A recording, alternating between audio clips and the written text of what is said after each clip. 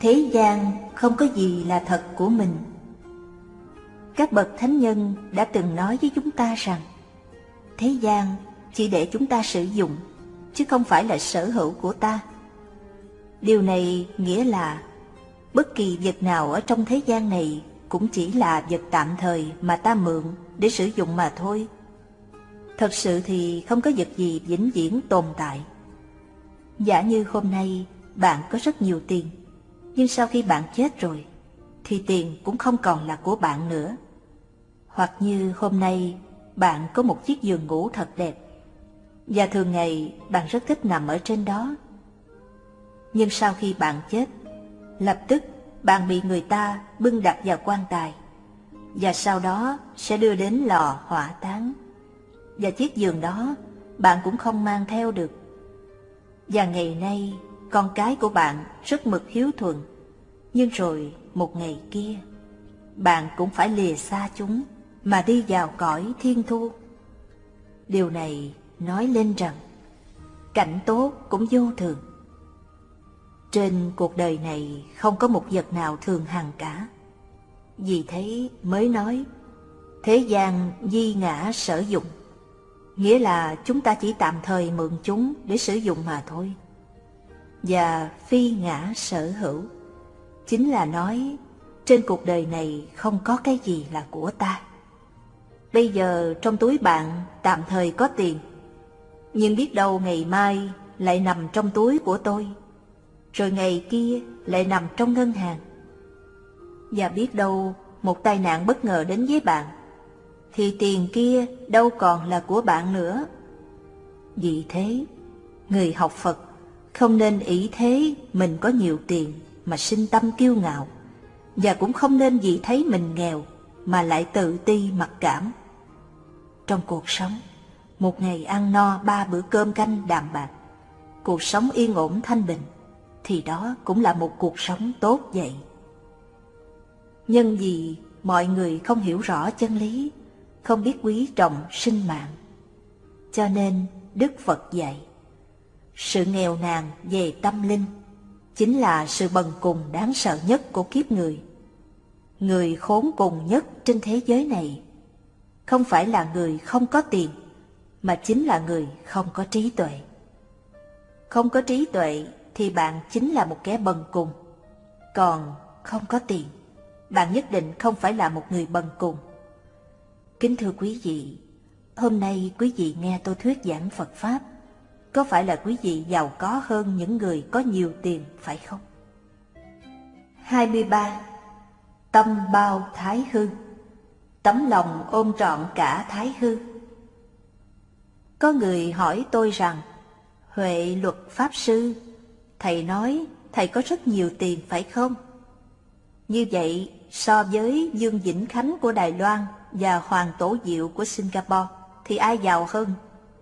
Kính thưa quý vị, nếu như chúng ta có nhiều tiền, mà chúng ta lại chấp trước vào tiền bạc của mình, thì hàng ngày chúng ta bị chính đồng tiền của chúng ta làm cho khổ sở.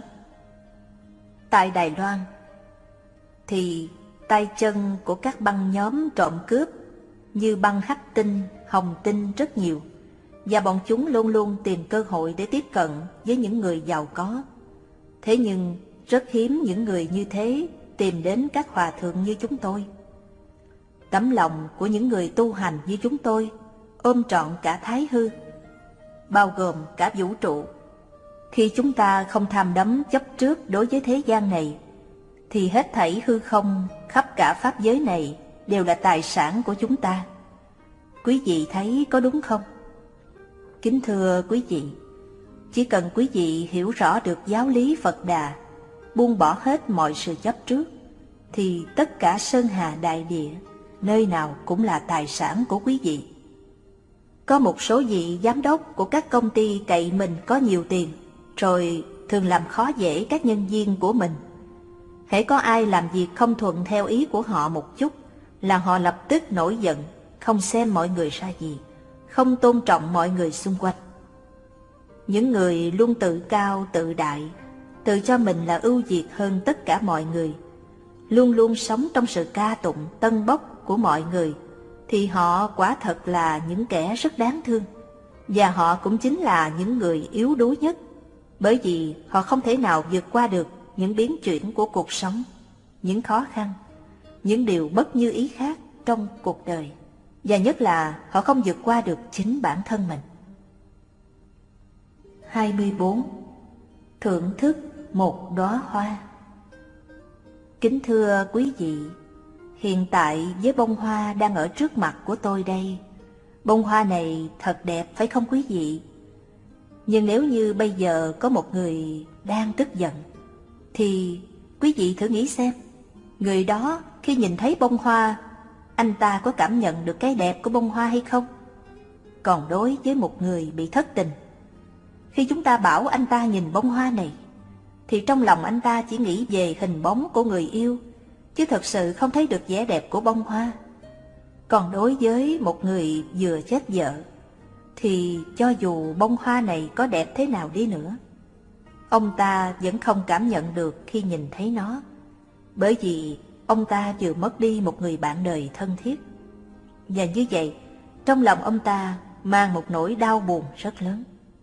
Như thế, nội tâm ông ta đã bị sự đau khổ buộc rầu chi phối, và ông ta không còn cảm nhận được cái đẹp vốn có của bông hoa.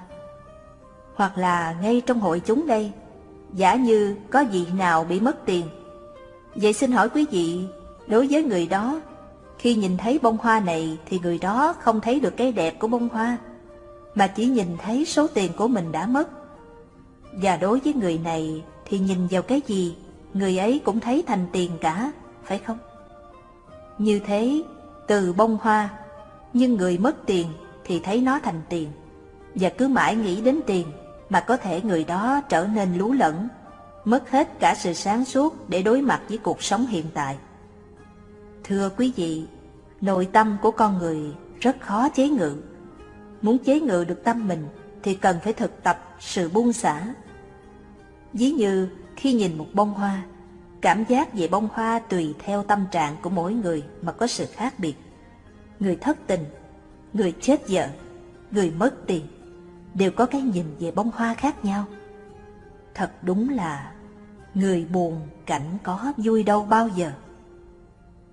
Đối với một người tu hành thì khi nhìn một bông hoa, người ấy sẽ thưởng thức được một cách trọn vẹn cái đẹp của bông hoa bởi vì người ấy có được sự chánh niệm. Chánh niệm là chất liệu thắp sáng hiện hữu. Một người có chánh niệm nghĩa là khi đang nhìn thấy bông hoa thì trong nội tâm người ấy không bận suy nghĩ về bất kỳ một việc nào khác, mà người đó tập trung ý thức của mình vào bông hoa để nhận diện được sự hiện hữu màu nhiệm của bông hoa ngay trong giờ phút hiện tại. Kính thưa quý vị, trong cuộc sống thường ngày của chúng ta nói riêng hay trong cuộc nhân sinh nói chung, có rất nhiều và rất nhiều bông hoa màu nhiệm như vậy. Đó là sự hiện diện của những người thân yêu của chúng ta, như cha, mẹ, vợ, chồng, bạn bè con cái. Nhưng vì thiếu chánh niệm nên đã có những lúc chúng ta quên đi sự hiện diện của họ đối với chúng ta. Và thật đáng buồn hơn là đã có không ít lần chúng ta đã làm cho người thân chúng ta đau khổ. Ở đây không phải vì chúng ta thiếu tình thương đối với người thân yêu, mà chính là chúng ta đã thiếu sự hiểu biết về những người thân yêu của chúng ta. Chúng ta luôn nói là yêu thương mọi người, nhưng chính chúng ta lại thiếu hiểu biết về những người đó. Và khi đã thiếu sự hiểu biết đối tượng, thì tình thương có lúc lại làm cho đối tượng đau khổ. Vì thế, người xưa đã nói, thương nhau mà lại bằng mười phụ nhau là vậy. Kính thưa quý vị, trong cuộc sống chúng ta cần phải có sự tri túc, tức là biết đủ đối với bản thân. Bởi vì có tri túc là chúng ta không có sự tham cầu đối với thế gian này. Ngay đó chúng ta mới có niềm vui từ nội tâm. Khi có niềm vui từ nội tâm, chúng ta mới cảm nhận được những giá trị của hạnh phúc hiện hữu quanh ta. Còn nếu không, thì chúng ta cứ bị tham lam, danh vọng, ganh ghét, đau khổ, vân vân chi phối, mà không bao giờ tự mình cảm nhận được những hạnh phúc trong cuộc sống. Tục ngữ nói, nhân đáo vô cầu phẩm tự cao, nghĩa là con người chúng ta khi không còn lòng tham thì nhân cách sẽ tự cao đẹp. Một người mà khi trong lòng không còn tham cầu thì phẩm hạnh của người ấy tự nhiên sẽ cao siêu, mà không cần phải có người tân bốc hay vua nịnh. Lại nói, vô dục tắc cương, nghĩa là không ham muốn thì sẽ là cương trực, vững chãi. Thật vậy, một người không ham muốn thì họ sẽ không bị kiên kỵ bất cứ điều gì. Lời nói của người ấy luôn là một lời nói ngay thẳng, không bao giờ phải quanh co vua nịnh người khác. Người tu hành nhìn thấy bông hoa đẹp bởi vì họ có một nội tâm tươi đẹp. Bởi vì người tu hành có thể xả bỏ được sự chấp trước, không chấp ngã cũng không chấp tướng. Vì sao như vậy? Bởi vì họ hiểu được rằng thân thể của chúng ta thật sự chỉ là do các yếu tố khác nhau giả hợp tạo nên. Nếu như chúng ta quan sát kỹ về chính bản thân mình, thì ai ai cũng có thể thấy được sự giả hợp đó. Tôi ví dụ, nếu như thân thể này thật sự là của ta, vậy tại sao chúng ta không biết được lúc nào chúng ta sẽ bị bệnh, lúc nào chúng ta sẽ chết, vân vân. Vì thế, Đức Phật đã dạy, cuộc đời không có cái gì được gọi là vĩnh hằng bất biến, mà mọi cái, mọi sự, mọi vật luôn trôi chảy và biến đổi. Đó chính là sự vô thường của cuộc sống. Nếu như chúng ta hiểu rõ được sự vô thường của cuộc đời, thì chúng ta sẽ không bị trở ngại, không bị phiền não chi phối, không bị cuộc sống làm đau khổ. Bởi vì họ đã hiểu rõ mặt thật của cuộc đời. 25. Mọi việc do tâm Những người tu học Phật Pháp điều thiết yếu nhất là phải bình tâm trước tất cả mọi việc, mọi hoàn cảnh. Cho dù đang đối diện với bất kỳ hoàn cảnh nào, chúng ta cũng phải bình tĩnh để quan sát nhận xét. Có như vậy, chúng ta mới có được sự nhận định và giải quyết vấn đề một cách đúng đắn. Và như thế, thì cho dù gặp phải hoàn cảnh nào, chúng ta cũng có được sự an lạc và vững chãi. Vì thế mới nói, cảnh vốn không tốt xấu, chỉ do tâm tạo nên. Hoàn cảnh vốn nó không tự nói là tốt hay là xấu. Giả sử hôm nay tâm tình của chúng ta đang rất vui vẻ hạnh phúc, thì chúng ta cảm thấy tất cả mọi việc đều là vui cả. Nhưng nếu như hiện tại tâm tình của chúng ta không tốt, thì gặp bất cứ chuyện gì chúng ta cũng cảm thấy không tốt cả. Nói tóm lại, tất cả đều là vấn đề của nội tâm chúng ta, chứ không phải là do ngoại cảnh. Điều này trong Kinh Hoa Nghiêm nói, nếu có người muốn biết tất cả Phật ba đời, nên quán Pháp giới tánh, tất cả do tâm tạo. Nhược nhân dục liễu tri tam thế nhất thiết Phật, ưng quán Pháp giới tánh, nhất thiết duy tâm tạo. Điều này có nghĩa là nếu như có người nào muốn hiểu rõ được tất cả chư Phật ở khắp trong mười phương, suốt cả ba đời đã thành Phật như thế nào, thì hãy quán chiếu vào tánh của Pháp giới. Nghĩa là hãy quán chiếu để thấy rõ tất cả vũ trụ dạng vật. Tất cả đều do tâm tạo ra, đều nhân nơi tâm mà hiện hữu. Vì thế, sự nghèo nàn về tâm linh chính là sự nghèo nàn đáng sợ nhất của cuộc sống con người. Cho nên, kính thưa quý vị, chúng ta có thể thiếu thốn về vật chất, tiền bạc, nhưng nhất định chúng ta không thể thiếu về trí tuệ. 26. Sinh tử là việc lớn. Chúng ta vẫn đang đàm luận về nhân sinh. Vấn đề Phật giáo nhấn mạnh nhiều nhất đó là quan niệm về sự sinh tử Phật giáo muốn mọi người nhận rõ chân tướng của sinh, lão, bình, tử. Vì thế, trong kinh nói, Đức Phật chỉ vì sinh tử đại sự mà muốn làm cho chúng sinh ngộ nhập tri kiến Phật, muốn mọi người hiểu rõ con người từ đâu mà đến, chết rồi sẽ đi về đâu. 27. Nhân duyên ba đời Quan niệm về sinh mạng của cơ đốc giáo là hai đời, hiện tại và tương lai, tức đời này và đời sau. Thiên Chúa giáo cũng quan niệm như thế, nghĩa là theo quan niệm của cơ đốc và Thiên Chúa giáo thì con người là do Thượng Đế sáng tạo ra, và đời sau, sau khi trải qua sự phán xét của Chúa, mà sẽ được lên thiên đàng hay xuống địa ngục. Theo quan điểm của Phật giáo, thì sinh mạng của con người tương tục từ quá khứ đến hiện tại cho tới tương lai, hay nói gọn là tam thế quan niệm. Phật giáo dùng quan điểm này để giải thích sinh từ đâu mà tới. Nguồn gốc của sinh chính là nghiệp lực, tức là năng lực của nghiệp hay sức mạnh của sự tạo tác. Trong quá trình từ khi chúng ta sinh ra đến khi chết đi thì có dài, có ngắn khác nhau. Đối với vấn đề phúc, họa, sống, chết này, theo quan điểm của cơ đốc giáo cho rằng tất cả đều do Thượng Đế an bài. Nhưng theo quan điểm của Phật giáo thì đó là do sự dẫn dắt của nghiệp lực. Nghiệp là sự tạo tác, hành động. Nếu tạo tác, hành động thể hiện qua thân thì gọi là thân nghiệp, thể hiện qua miệng thì gọi là khẩu nghiệp và thể hiện qua ý thì gọi là ý nghiệp. Chính sự tạo tác, hành động này của chúng ta đã tạo thành một năng lực dẫn dắt chúng ta, và đó chính là nghiệp lực. Và đương nhiên, nghiệp lực của người này sẽ không giống với người kia. Vì thế, nên trong cuộc sống mới có sự khác biệt giữa mọi người. Giả sử như trong đời trước, anh đã sát sinh quá nhiều, nhất định đời này anh sẽ bị đoản mạng.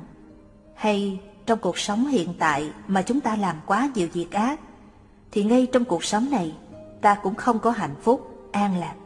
Và nhất định đời sau chúng ta sẽ phải thọ nhận những quả báo đau khổ. Đó chính là đã mang lấy nghiệp vào thân, cũng đừng trách lẫn trời gần, trời xa. Thiền căn ở tại lòng ta, chữ tâm kia mới bằng ba chữ tài. 28. Sợ chết hay sợ sống?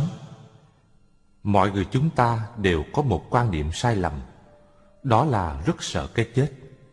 Nhìn thấy trong nhà ai có một cổ quan tài, nếu như đi ngang qua nhà đó, thì mọi người rất là sợ sệt, sợ hồn ma của người chết, sợ người chết hóa thành ma hù dọa chúng ta.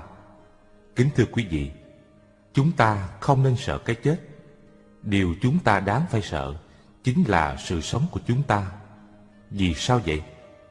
Kính thưa quý vị, có thể trong hội chúng này sẽ có nhiều người ngạc nhiên phải không? Thưa quý vị, thật vậy, cái chết không có gì đáng sợ cả. Bởi vì trong cuộc đời đã có sinh nhất định phải có tử, không hề có ngoại lệ. Không có người nào có thể trốn khỏi lưỡi hái của tử thần. Chúng ta đã được sinh ra, nhất định chúng ta sẽ phải chết. Cái chết không từ một ai, cũng không thiên vị một người nào. Cho dù quý vị có quyền cao chức trọng, cũng không hối lộ được cho thần chết. Vì vậy, chúng tôi nói rằng, chúng ta không nên sợ chết, bởi vì đó là một sự thật mà bất kỳ người nào cũng không thể tránh khỏi. Đã là một sự thật không tránh khỏi, thì tại sao chúng ta lại phải sợ, mà lại không chịu nhìn rõ và tiếp nhận nó? Vì sao chúng ta phải sợ chính cuộc sống của chính mình? Thưa quý vị, chúng ta sợ cuộc sống của mình, đó là sợ mình không làm chủ được bản thân, không tu tập chánh pháp, sống thiếu lòng vị tha, mà phải gây đau khổ cho chính bản thân và cho cả mọi người xung quanh. Vì vậy, khi biết sợ cuộc sống của mình, tức là chúng ta biết nhìn lại những việc làm, những lời nói, những suy nghĩ của bản thân để có cơ hội tu sửa bản thân trở thành tốt hơn, trở thành con người có ích cho gia đình và xã hội. Vì thế, khi chúng ta biết sợ cuộc sống của chính mình là để sửa mình tốt hơn, xây dựng cuộc đời tốt hơn và yêu cuộc đời hơn, chứ không phải chối bỏ cuộc đời. Như vậy, bây giờ trong hội chúng đây, vị nào không còn sợ chết thì đưa tay lên. Trời ơi, Tất cả quý vị đều không sợ chết nữa rồi sao? Vậy thì tốt quá. Tất cả quý vị đều đồng ý với chúng tôi về quan niệm trên phải không? Thật vậy, kính thưa quý vị, chúng ta sống trong cuộc đời, chúng ta cần phải có cái nhìn chính xác về cuộc đời. Đừng để cuộc đời lừa dối mình. Chúng ta phải biết rằng cái chết không có gì đáng sợ cả, bởi vì đó là định luật tất yếu của thế gian này. Không một ai có thể tránh khỏi. Vì thế, khi cái chết đến với mình, chúng ta nhất định phải nói với nó rằng trời đất có bốn mùa xuân hạ thu đông. Con người thì có sinh lão bệnh tử. Đây là một quá trình diễn biến rất tự nhiên không ai có thể vượt ra ngoài nó được. Mỗi ngày chúng ta đều sợ cái chết đến với mình. Trong lúc còn sống chúng ta không hiểu biết về cái chết mà lại luôn luôn sợ hãi nó, luôn luôn lo lắng về cái chết. Thế rồi, hoài nghi không biết có hay không có đời sau. Thêm nữa, giả sử như có người không có cơ hội đi nghe hoặc học hỏi phật pháp, cũng không có bạn bè thân hữu chỉ bảo để hiểu về sự thật của cuộc đời. Thế rồi người đó đến lúc lâm chung cũng còn mơ mơ hồ hồ, tâm lý sợ sệt, đau khổ khởi lên và thế là sẽ tự mình đi vào cõi khổ. Kính thưa quý vị, ngày nay chúng ta có mặt trên cuộc đời này, nhất định sẽ có ngày chúng ta phải chết. Đối với vũ trụ, đối với nhân loại, thì cái chết là một hiện tượng rất tự nhiên. Nếu như con người mà không chết, thì thế gian này sẽ không có sự vô thường. Mà nếu như không có sự vô thường, thì quý vị nghĩ xem khi chúng ta chào đời chỉ là một đứa bé nhỏ xíu và chúng ta sẽ mãi mãi là đứa bé nhỏ xíu như vậy mà không bao giờ lớn lên, trưởng thành được. Như thế, quý vị nghĩ xem điều đó có đúng không? Vì thế, chúng ta không nên sợ cái chết mà chỉ nên sợ ta đã sống không tốt mà thôi. Như vậy, làm thế nào để chúng ta trở thành bất sinh? Có phương pháp nào để chúng ta có thể trở thành bất sinh hay không? Kính thưa quý vị, tôi xin thưa là có. Đó là tu tập thiền định đạt đến minh tâm kiến tánh, tâm trí khai ngộ, hoặc tu tập theo tịnh độ, chí tâm niệm Phật, đạt đến nhất tâm bất loạn, qua khai kiến Phật, ngộ vô sinh thì liễu sinh thoát tử.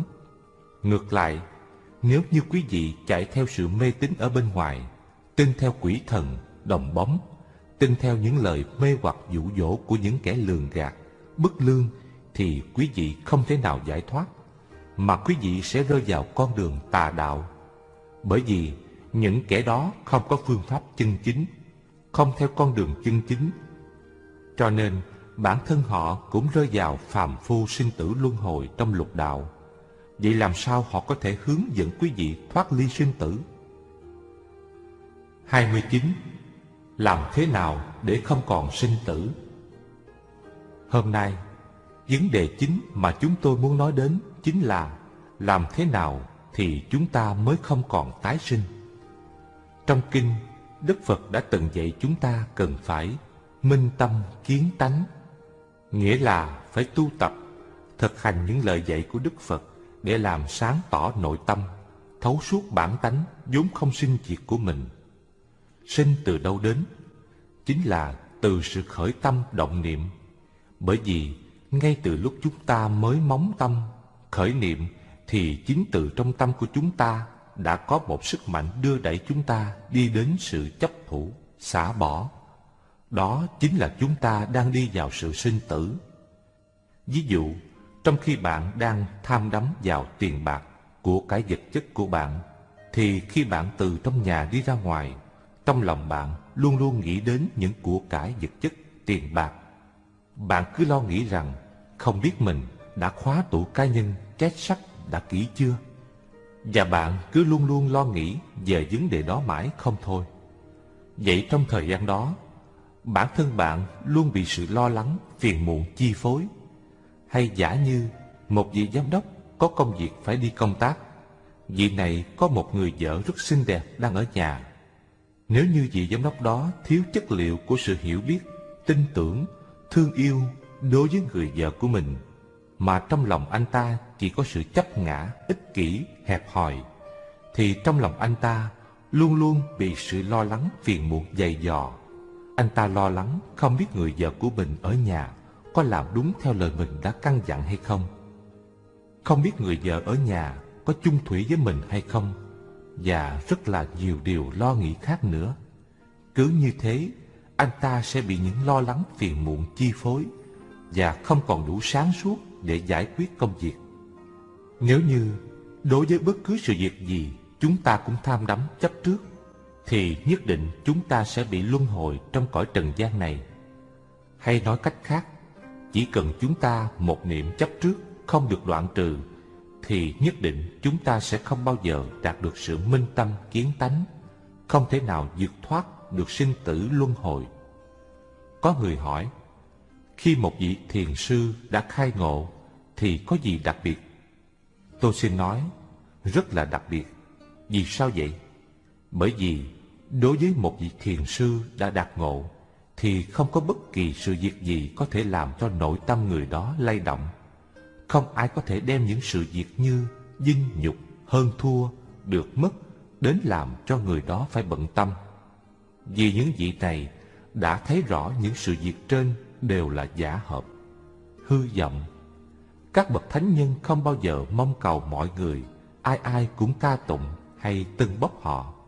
Nếu như trong cuộc sống mà mọi người ai cũng ca tụng và tưng bốc ta, như vậy thế giới này sẽ trở thành một thế giới như thế nào?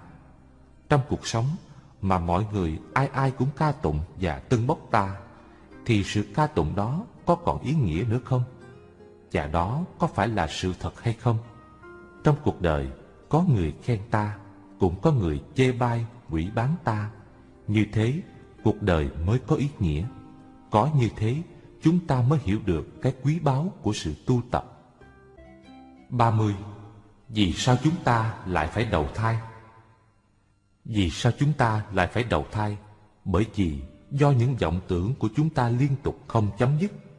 Chúng ta cứ mãi chấp chặt vào những ý niệm hơn thua, được mất, những tranh đua danh lợi mà không bao giờ dừng nghỉ. Vì thế, chúng ta nhất định sẽ bị đầu thai trở lại. Sự tham đắm cũng có rất nhiều thứ.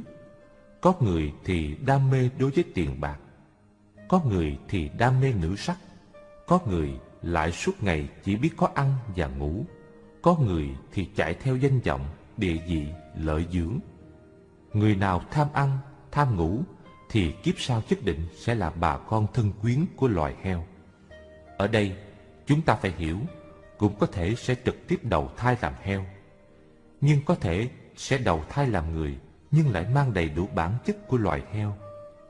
Đối với người đam mê theo sắc đẹp, thì kiếp sau sẽ đầu thai làm loài chim quanh vũ. Loài chim quanh vũ này có bộ lông rất đẹp, và chúng rất yêu thích bộ lông tuyệt đẹp của mình đó chính là do những hạt giống của sự đam mê tham đắm tạo nên.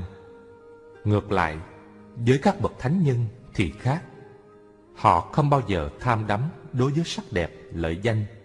Bởi vì các bậc thánh với trí tuệ của sự tu tập, các ngài thấy rõ được thế gian này, từ con người cho đến tất cả mọi sự, mọi vật, đều chuyển biến vô thường.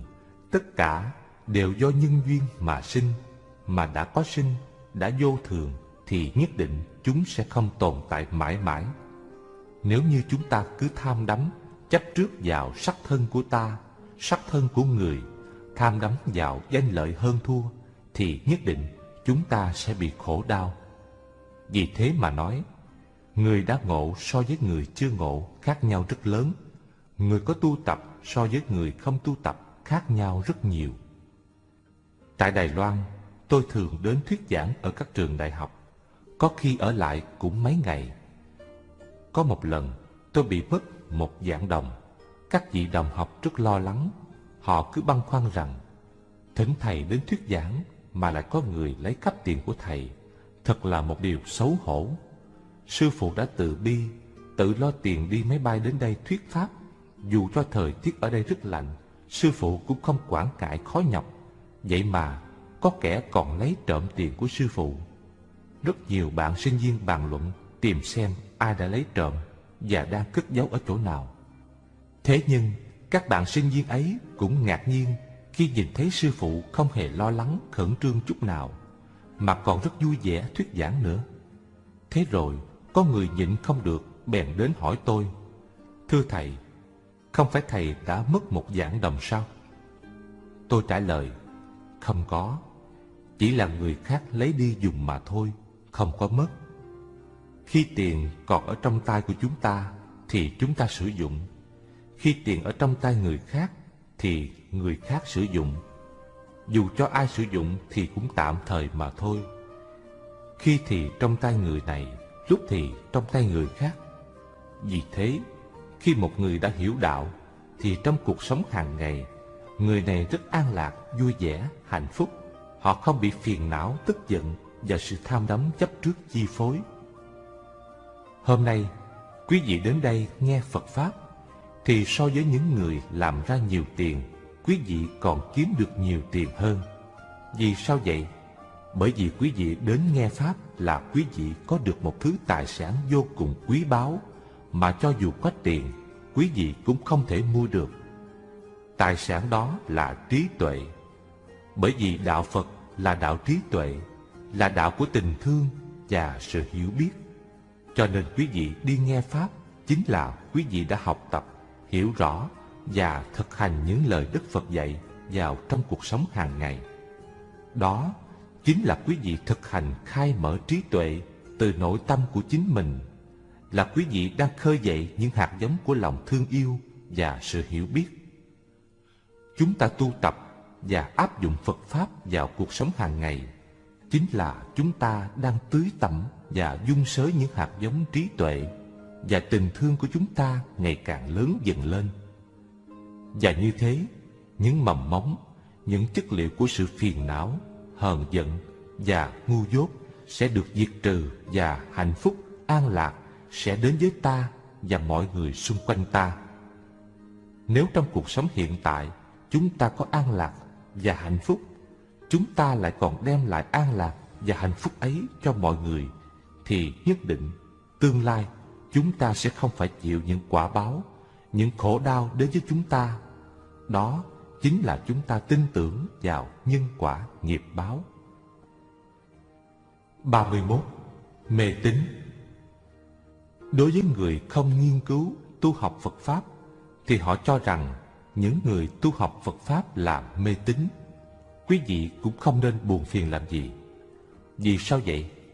Bởi vì so với những người tự cho rằng mình không mê tín ấy thì quý vị còn tốt hơn họ rất nhiều. Chắc có lẽ quý vị ngạc nhiên lắm phải không?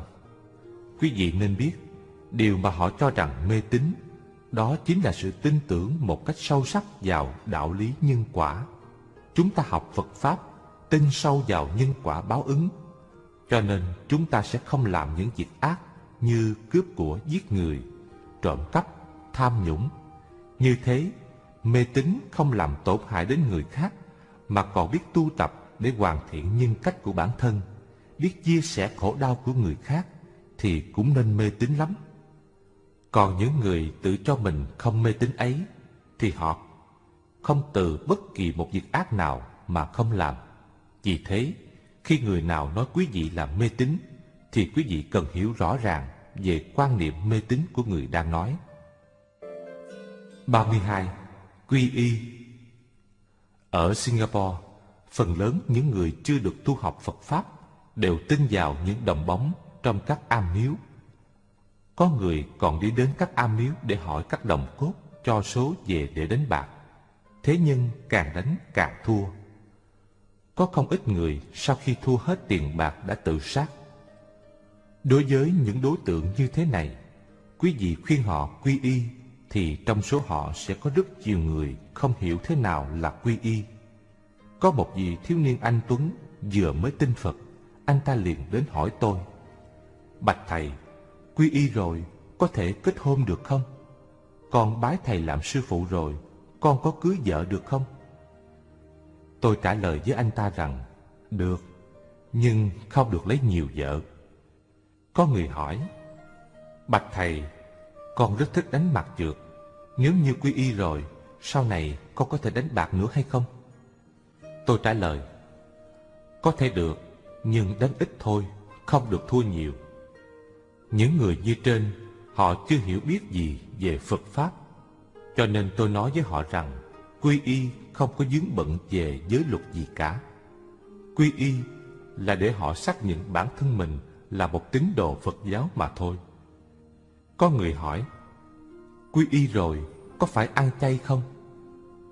Anh ta muốn quy y nhưng không biết ăn chay. Tôi trả lời, không sao cả, không ăn chay cũng không sao. Anh có thể ăn cá, thịt và các loại thức ăn, nhưng không được sát sinh. Anh ta nói, thưa sư phụ, thật là đáng xấu hổ, bởi vì con rất thích ăn gỏi thịt. Tôi trả lời, không sao đâu, anh cũng có thể ăn gỏi thịt, nhưng phải sau năm ngày ăn chay. Nếu chịu không nổi thì lại ăn gỏi thịt một lần. Anh ta trở về, nghe theo lời dặn và cố gắng ăn chay. Một ngày, hai ngày, ba ngày và ăn đến ngày thứ tư, sang ngày thứ năm anh ta chịu không nổi và cảm thấy rất là khổ sở. Những lúc không ăn thì nước miếng cứ chảy ra. Thân thể cảm thấy rất lạnh và mồ hôi lại toát ra.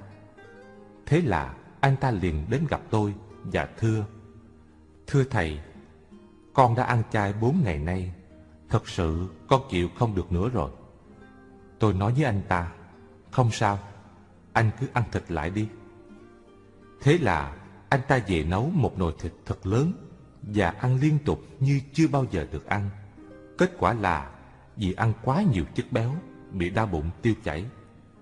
Anh ta nói với tôi, bệnh tiêu chảy thật là lợi hại. Khi con vào nhà vệ sinh, không cần dùng sức mà trong bụng cứ chạy tuồn tuột ra hết. Nó chạy như động cơ phản lực vậy. Kết quả vì để tập ăn chay, trải qua 8 năm, đến bây giờ anh ta vẫn còn ăn thịt và chưa thể ăn chay được.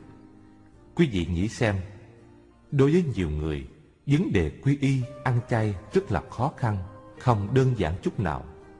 Cho nên, trong quá trình tu tập, hướng dẫn mọi người, chúng ta phải biết tùy duyên mà sử dụng phương tiện, không nên quá cứng nhắc vào bất cứ một điều khoản quy định nào cả. Vì thế, nên có những đối tượng, chúng tôi nói, quy y rồi cũng có thể đánh bạc, nhưng tốt nhất là không nên đánh. Quy y rồi cũng được cưới vợ, nhưng phải sống chung thủy, không được lấy nhiều vợ. Quy y không có quy định giới luật gì cả, và cũng không cần thiết phải ăn chay. Nếu như ngay từ đầu mà tôi nói thẳng với họ rằng quy y rồi, không được đánh bạc, quy y phải tuân thủ giới luật, phải ăn chay, thì nhất định họ sẽ không quy y và sẽ không bao giờ đến với Phật giáo nữa. Và như thế, họ sẽ không có được cơ hội để tiếp xúc với giáo lý Phật Đà, để tu tập và sửa chữa những sai lầm của mình. Do đó, với những đối tượng như vậy, tôi phải sử dụng phương tiện quyền xảo để từ từ hướng dẫn họ và trong thực tế đã có những kết quả rất khả quan. Những người như trên trong giai đoạn đầu có khó khăn nhưng về sau họ có những bước tiến rất tốt sau khi đã tiếp xúc học hỏi và thực tập lời Phật dạy.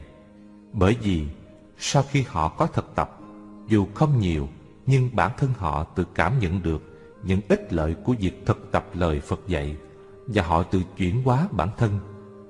Quý vị sống ở tại Singapore này, Muốn quy y với chúng tôi cũng được, Nhưng tốt nhất là nên quy y với các vị thầy ở đây. Bởi vì sau khi quy y, Chúng ta cần phải thân cận học hỏi và thực tập. Tôi ở Đài Loan, Nếu có vấn đề gì thắc mắc, Cần phải có thầy để thỉnh giáo Thì thật là bất tiện. Cho nên quý vị nên quy y với các vị thầy ở đây Và điều cần thiết nhất là Sau khi đã quy y thì cố gắng học hỏi và thực hành những điều Phật dạy vào trong cuộc sống hàng ngày. Có như thế, quý vị mới cảm nhận được những giá trị chân thật của đạo Phật trong cuộc sống của bản thân mình, của gia đình mình và của xã hội như thế nào. Đức Phật đã dạy, ta xuất hiện ở đời là vì mục đích đem lại an lạc hạnh phúc cho chư thiên và loài người. 33. Quá khứ, tương lai và hiện tại. Hôm nay, chúng ta sẽ bàn về những điều mà Đức Phật đã dạy. Phật dạy do thiếu hiểu biết, con người thường thích nhớ tưởng đến quá khứ, để cho những ký ức trong quá khứ trở về, làm lay động tâm thức của ta trong cuộc sống hiện tại. Chúng ta vẫn luôn luôn hồi tưởng về quá khứ, hồi tưởng về những tang thương, những khổ đau, những niềm vui và những vinh quang của quá khứ. Chúng ta cứ sống với những ký ức của quá khứ thì đó là một loại chấp trước.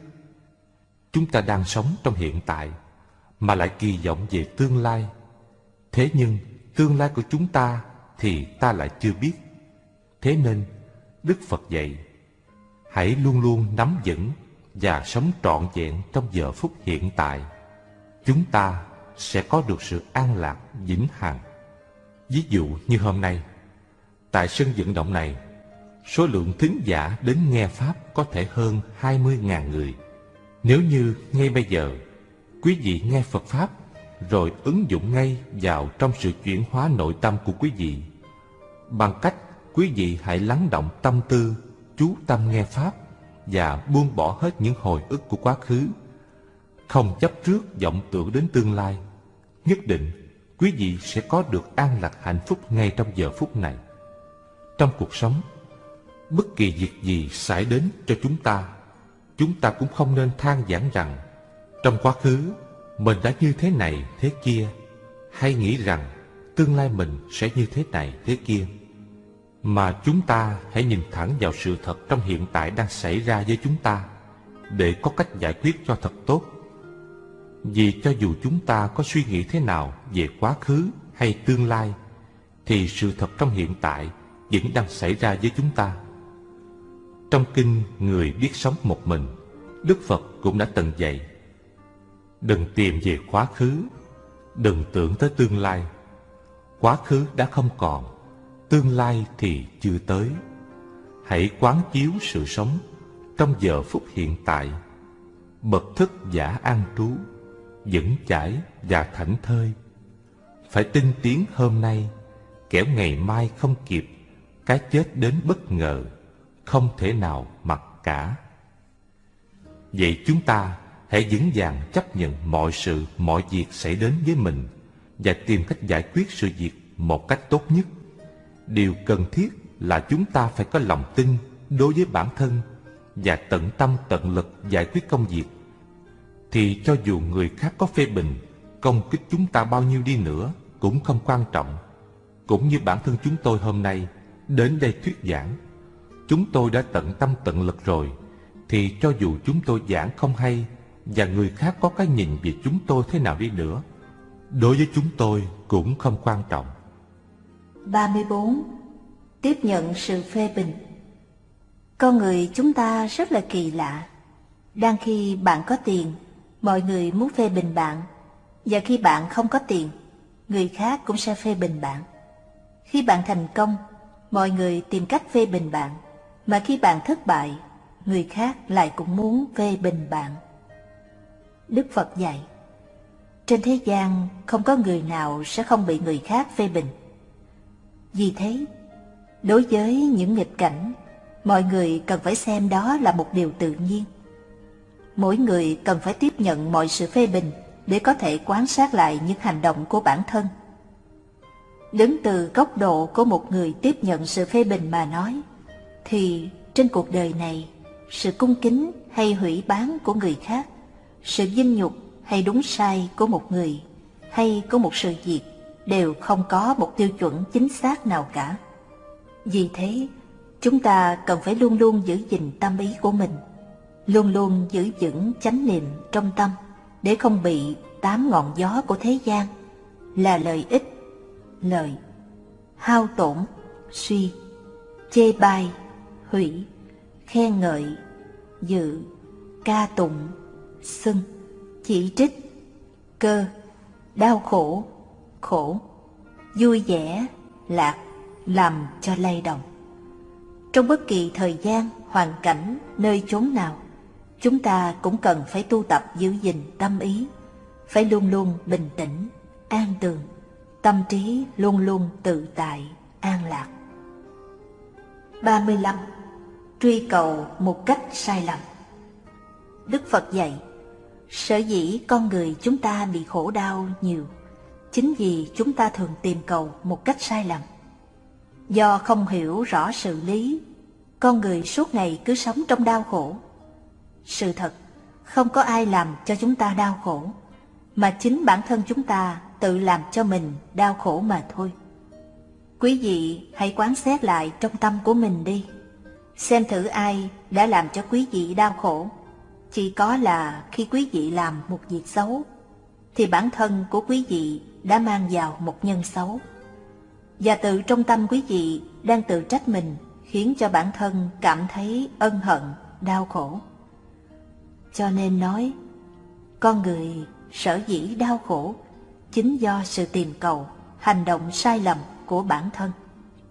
Chúng ta tìm cầu tiền bạc, bởi vì tiền bạc cũng quan trọng. Như bản thân chúng tôi đây cũng có nhu cầu về tiền bạc, chẳng hạn như cần tiền để mua vé máy bay đến đây. Thế nhưng, tiền chỉ có tính quan trọng tương đối, không phải là quan trọng tuyệt đối. Khi bạn đang cần tiền, thì tiền rất quan trọng. Khi bạn đã có nhiều tiền và gửi tiền trong ngân hàng, thì lúc đó chỉ là một cuốn sổ hay là một con số hoặc là một chiếc cạc mà thôi. Như vậy, tiền hoàn toàn không có tính nhu cầu tuyệt đối. Ví như nói, bạn đang buồn phiền, trong lòng không vui, thì cho dù bạn có nhiều tiền, song trong lòng vẫn buồn phiền, không vui. Hay giả như bạn là một ngôi sao ca nhạc, hay một minh tinh màn bạc, thì cuộc sống của bạn sẽ rất là vui vẻ phải không? Chưa hẳn đã như vậy. Hay bạn cho rằng các chính trị gia, các doanh nhân thành đạt hay các nhân vật có tiếng tâm trong xã hội thì cuộc sống của họ sẽ rất hạnh phúc. Không hoàn toàn đúng như thế. Bởi vì những nhân vật ấy cũng có những khổ đau, những bất hạnh trong cuộc sống mà có khi bản thân họ tự biết mà thôi. Con người chúng ta sở dĩ bị đau khổ, không hạnh phúc, chính vì đã đem cả cuộc đời của mình để tìm cầu tiền bạc, danh dự, sắc đẹp. Và cũng chính vì vậy mà chúng ta đã sống cả cuộc đời trong sự lao khổ, bôn ba. Một vị thiền sư đã nói, danh vọng, lợi ích và sắc đẹp, để kiếm được ba thứ này, kẻ phàm phu mãi mãi bị lưu chuyển. Ví dụ như nói kiếm tiền, kỳ thực là chúng ta không phải đang kiếm tiền, mà là chúng ta đang bị tiền kiếm. Tiền đã lấy mất đi tuổi thanh xuân, Tiền đã lấy đi dung nhan, đã lấy đi thời gian của chúng ta, và tiền cũng đã lấy đi cả sinh mạng của chúng ta nữa.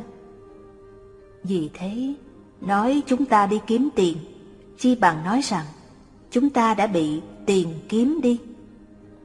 Cho nên, Phật dạy chúng ta hãy tỉnh giác, sống trong tỉnh thức, đừng mê mờ chạy theo những ảo ảnh của cuộc đời. Quý vị nên nhớ, chúng ta học Phật Pháp cần phải hiểu rõ, phải giác ngộ về sự thật của cuộc đời. 36. Sự định tĩnh của nội tâm Đức Phật dạy, sự định tĩnh được phát xuất từ nội tâm, không phải tìm cầu từ bên ngoài. Sự yên tĩnh của nội tâm có được phải nhờ sự tu tập buông xả của bản thân. Mỗi người chúng ta nếu muốn sống một cuộc sống cho thật an nhiên tự tại, nhất định chúng ta cần phải hạ thủ công phu, tu tập để thanh lọc nội tâm. Quý vị cần phải quán sát xem dạng vật trong trời đất. Quý vị sẽ thấy trong chớp mắt chúng biến hóa vô cùng, không có thể tánh thực tại. Vì thế, quý vị không nên chấp trước, đam mê. Được như thế, quý vị mới thật sự là một người giàu có. Bây giờ tôi xin hỏi quý vị, sự chấp trước có chỗ nào xấu? Hiện tại trong tay tôi đang cầm chiếc khăn này. Vậy khi tôi đang cầm chiếc khăn, tôi có thể cầm cái tách trà này để uống có được không? Không được phải không quý vị? Tâm của chúng ta cũng như vậy. Khi chúng ta đã chấp trước đam mê một cái gì, một điều gì rồi, chúng ta không thể dung nạp những cái khác, những điều khác nữa. Cho dù đó là những cái đẹp, những điều hay. Ví dụ nói, bây giờ trong tay của chúng ta không cầm một vật gì cả, thì chúng ta mới có thể cầm vật khác lên được. Và khi muốn cầm một vật khác nữa, thì chúng ta phải bỏ vật mà chúng ta đang cầm xuống. Như thế, muốn thưởng thức, học hỏi nhiều điều, muốn có cơ hội hiểu biết người khác, chúng ta phải thực tập hạnh buông xả. Nếu không, trong cuộc sống, chúng ta cứ chấp nhặt một điều gì mà không chịu xả bỏ, hay chúng ta có định kiến không tốt về một người nào, nội kết với một ai mà không chịu buông xả, chúng ta không bao giờ có cơ hội để tiếp nhận những cái hay, cái tốt khác. Và chúng ta cũng không bao giờ tha thứ được cho người khác, cũng như không tiếp nhận được việc tốt của người khác. Thế nên, sự buông xả chính là tài sản quý giá nhất. Tài sản này quý vị lại không tốn tiền mua. Nếu lòng chúng ta luôn luôn chấp nhận một điều gì thì thật khổ sở. Nếu có người nào nói với ta vài ba câu gì đó là tối về chúng ta cứ trằn trọc không sao ngủ được. Rồi cứ trằn trọc suy nghĩ. Vì sao mà người ấy lại chê bai mình đến như vậy? Vì sao mà người ấy lại muốn công kích mình? Cứ như thế chúng ta sẽ bị đau khổ vì những chuyện không đâu vào đâu. 37. Không thẹn với lòng Kính thưa quý vị, trong cuộc sống, làm bất kỳ một việc gì, chúng ta cần phải hỏi lại lương tâm của chính mình, xem thử mình có làm sai việc gì không. Chúng ta cần phải hỏi lại từ bản thân, chứ không phải hỏi người khác. Vì Phật dạy chúng ta phải chịu trách nhiệm với tất cả những việc mà chúng ta đã làm. Nếu chúng ta thật sự không có sai lầm, thì cho dù người khác có phỉ bán, công kích hay tìm cách nói xấu, chúng ta vẫn an nhiên bất động. Hay cho dù có người tỏ thái độ thương hại ta, thì cũng vậy thôi. Bởi vì bản thân chúng ta thấy rõ mình không thẹn với lòng đối với những việc mình đã làm. Lương tâm ở trong lòng mỗi người, đó chính là một vị quan tòa tốt nhất. Chúng ta có thể dối gạt, che giấu người khác, dối gạt cha mẹ, bạn bè, thầy cô giáo, hay dối gạt cả với đất nước, nhưng chúng ta cũng không thể dối gạt được lương tâm của mình. Lương tâm của mỗi người chính là sự trong sạch nhất của nội tâm người ấy. Trong suốt 24 giờ, lương tâm luôn là vị quan thanh liêm, phán xét mọi hành động của chúng ta. Nhân quả chính là ở đây, tuyệt đối không sai chạy. Nó còn ghi chép đầy đủ và chính xác hơn cả chiếc máy vi tính, chính xác nhất mà không có loại virus nào có thể phá hoại được. Vì thế, quý vị cần phải hiểu, quý vị tu học Phật Pháp có thể nghe qua băng giảng hoặc trực tiếp nghe thầy giảng.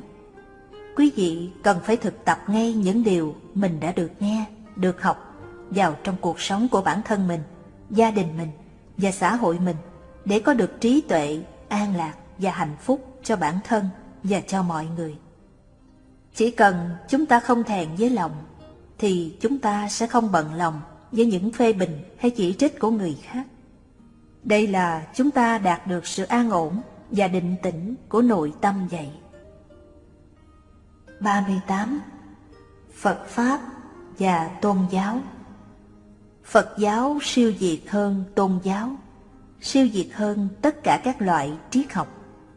Tất cả các tôn giáo có mặt trên thế giới đều nói rằng có một vị thần hay vị thượng đế tối cao có đầy đủ năng lực ban thưởng hay trừng phạt con người. Thế nhưng, Phật giáo cho rằng mỗi chúng ta đều có đủ khả năng ban thưởng hay trừng phạt chính mình. Nghĩa là mỗi chúng ta đều có khả năng làm chủ hành vi, hành động của chính mình và mọi người đều phải chịu trách nhiệm với những hành vi, hành động đó. Cho nên, chúng ta muốn thành Phật hay muốn vào địa ngục đều do bản thân chúng ta quyết định, không ai quyết định thay cho chúng ta. Chư vị tổ sư cũng đã từng nói, Phật giáo không phải là tôn giáo, không phải là triết học, mà là siêu diệt tôn giáo, siêu diệt triết học. Nói Phật giáo là tôn giáo, đó là vì phương tiện mà nói. Vì sao nói Phật giáo không phải là tôn giáo? Bởi vì định nghĩa của tôn giáo là có giáo chủ, có một đấng tối cao có đầy đủ quyền lực siêu nhiên, có giáo nghĩa, giáo đoàn. Tất cả những tôn giáo đều nói rằng có một đấng tối cao có đầy đủ quyền lực siêu nhiên. Thế nhưng Đức Phật Thích Ca Mâu Ni của chúng ta không phải là một đấng siêu nhiên. Đức Phật cũng nói rằng ta là Phật đã thành, các ngươi là Phật sẽ thành. Và Đức Phật cũng không có quyền ban thưởng hay trừng phạt ai cả. Ngài dạy rằng mỗi người đều phải nhận tất cả kết quả từ những việc làm của bản thân. Ngài cũng không dạy mọi người hãy cứ tin Ngài thì sẽ được về cõi Tây Phương cực lạc, còn không tin thì sẽ bị đầy xuống địa ngục. Mà Ngài dạy, muốn tin thì phải hiểu, muốn tin Phật thì phải hiểu Phật là gì. Đức Phật đã dạy, các ngươi chớ vội tin ta, tin ta mà không hiểu ta, thì chính là các ngươi phỉ bán ta một cách thậm tệ vậy.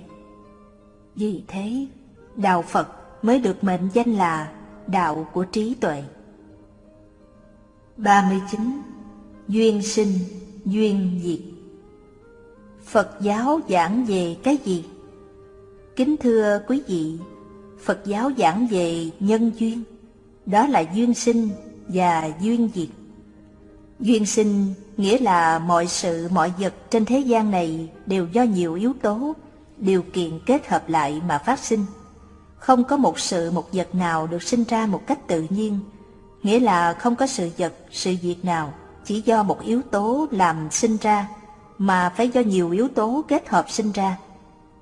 Duyên diệt nghĩa là khi những điều kiện để các yếu tố kết hợp với nhau không còn nữa, thì sự vật sự việc sẽ không còn hiện diện tồn tại. Sự không còn hiện diện hay tồn tại của bất kỳ sự vật sự việc nào không phải do chúng tự nhiên mất đi, hay là do một đấng quyền năng nào làm cho chúng mất đi, mà là do các yếu tố, các điều kiện của sự vật sự việc ấy đã hết, và chúng sẽ chuyển sang một dạng nhân duyên mới, tạo ra các sự vật, sự việc mới. Ví dụ như hôm nay, mọi người chúng ta cùng có duyên gặp nhau ở đây, cũng chính là duyên sinh chúng ta mới cùng tập hợp tại đây để nghe Pháp. Sau khi chúng tôi giảng xong, quý vị ai về nhà nấy, đó là duyên diệt. Thế nhưng, khi chúng tôi về, chúng tôi sẽ làm việc khác, nơi khác, và quý vị trở về, mỗi người sẽ có một công việc khác, nghĩa là sẽ có các duyên khác sinh ra các việc khác. 40. Nắm vững và sáng tạo nhân duyên Nhớ lại khi tôi còn học đại học có một vị tín đồ cơ đốc giáo nói với tôi rằng Phật giáo của các bạn nói rằng Đức Phật đang khống chế các bạn và Đức Phật là chủ tể sáng tạo ra thế giới này. Tôi nói với anh ta rằng Phật giáo không nói những điều như vậy. Tay của bạn muốn nắm lại cũng do bạn, mà muốn buông ra cũng do bạn. Tất cả mọi việc làm đều do tự thân mỗi chúng ta quyết định. Nếu như hôm nay anh giết người, thì cho dù anh có đến quỳ trước Phật, Phật cũng không thể cứu anh được. Và Đức Phật sẽ nói với anh rằng, anh không tin nhân quả, anh muốn giết người, phóng hỏa, thì ta làm sao mà cứu anh được? Vì thế, có người hỏi, tụng kinh nhất định có thể tiêu trừ tai nạn được hay không? Điều này cũng không nhất định, bởi nếu như bạn không làm việc xấu, thì tụng kinh có thể tiêu trừ tai nạn. Thế nhưng, nếu bạn làm việc xấu, sát nhân, phóng hỏa, thì bạn có tụng bao nhiêu đi nữa cũng vô dụng mà thôi. Nếu tụng kinh có thể tiêu trừ những tai nạn, những hậu quả do việc làm xấu ác của chúng ta gây ra, thì Đức Phật Thích Ca Mâu Ni là người bao che cho tội ác rồi. Và Phật giáo đã trở thành một nơi dung chứa cho những kẻ gây ra tội ác. Vì thế, tụng kinh không nhất định sẽ tiêu trừ tai nạn. Bởi vì tất cả còn tùy thuộc vào những việc làm của mỗi người chúng ta.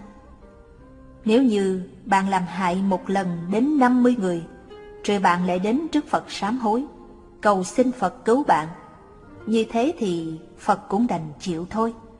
Bởi vì những việc bạn làm thì bạn phải có trách nhiệm với những kết quả của những việc làm đó. Chứ Phật không có quyền xóa bỏ những kết quả đó được.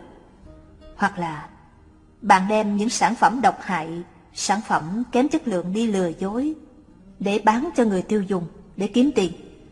Đến khi bị phát hiện, bị pháp luật truy bắt, lúc này bạn đến cầu Phật, xin Phật cứu giúp, tha thứ.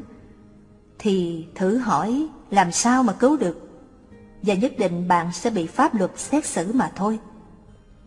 Bạn làm những việc bất thiện, hại nước, hại dân, thì nhất định bạn sẽ bị pháp luật xét xử. Và khi đã làm những việc ác rồi, thì cho dù bạn có tụng kinh gì đi nữa, cũng vô ích thôi.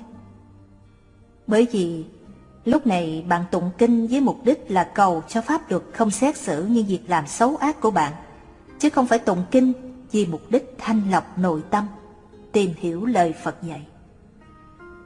Trong Phật giáo hoàn toàn không có điều này. Chúng ta không nên có những nhìn nhận một cách sai lầm về Phật giáo như vậy. Chúng tôi đã nói bàn tay của chúng ta có thể nắm lại hay mở ra đều tùy thuộc vào bản thân của mỗi chúng ta. Vì thế, Đức Phật dạy về nhân duyên sinh, nhân duyên diệt, không phải là muốn chúng ta cứ buông thả mình trôi theo những dòng chảy của cuộc đời, mà đó chính là Đức Phật muốn nói với chúng ta rằng, muốn làm thiện hay làm ác đều do chính bản thân chúng ta quyết định. Chúng ta muốn an lạc hạnh phúc hay đau khổ đều do tự thân mỗi của chúng ta. Thế nên, dưới cái nhìn của nhân duyên sinh, những sự gì xảy ra không phải là chúng ta cứ nhắm mắt thuần theo nó, không biết làm gì, mà chính là trong cái nhìn duyên sinh ấy, chúng ta tích cực chủ động để cải biến, làm thay đổi chiều hướng của sự việc, thay đổi chính bản thân của chúng ta. Chúng ta phải biết nắm bắt cơ hội tạo ra những cơ hội tốt, những nhân duyên tốt để trong quan hệ giữa người với người có được những mối liên hệ tốt đẹp, cùng nhau xây dựng một cuộc sống mà trong đó mọi người biết tin tưởng, thương yêu, tôn trọng lẫn nhau, không ai dối gạt ai, không ai tìm cách hại ai. Đó chính là chúng ta cùng tạo nhân duyên, xây dựng cuộc sống an lạc, xây dựng cõi tịnh độ ngay trong cuộc đời này. 41. Hạnh phúc từ đâu đến?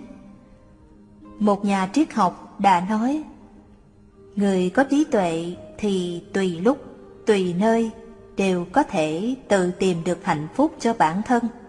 Người không có trí tuệ thì lại mong cầu người khác đem hạnh phúc đến cho mình. Kính thưa quý vị, an lạc, hạnh phúc đến từ sự giải thoát an tĩnh của nội tâm. Nếu như nội tâm chúng ta không an lạc, vui vẻ, thì ta có thể cầu mong người nào đem đến được niềm vui cho mình.